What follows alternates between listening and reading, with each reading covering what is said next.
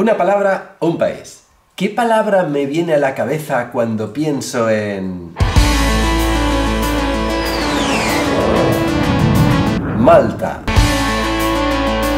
Malta, un país al que fui a visitar a un buen amigo.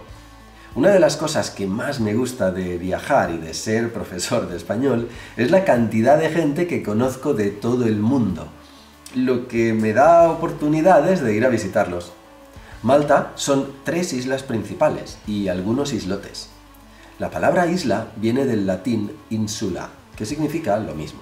De ahí vienen palabras como aislar, península, del latín paene, que es casi más ínsula, pero también insulina, que he leído que se extrae de las isletas de Langerhans en el páncreas.